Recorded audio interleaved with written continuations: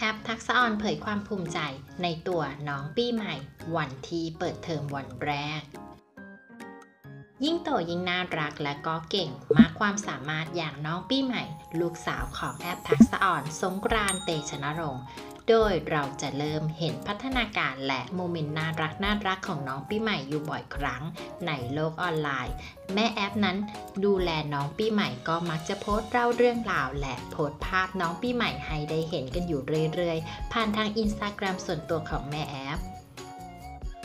สุดแอฟนั้นได้โพสต์อินสตาแกรมเล่าเรื่องราวความภูมิใจในตัวลูกสาวโดยบอกว่า เช้าตรู่ตีห้าครึ่งวันนี้กับการเปิดเทอมวันแรกในโรงเรียนใหม่ ภูมิใจลูกสาวแม่กระตือรือร้นเตรียมพร้อมรับสิ่งใหม่ด้วยความมั่นใจไม่ทำให้แม่เป็นห่วงเลย ซึ่งงานนี้พี่ๆแฟนคลับ ทั้งในและนอกวงการอ่านแล้วก็ปลื้มแทนแม่แอฟ ชื่นชมน้องปีใหม่กันทั้งไอจีเลยล่ะค่ะ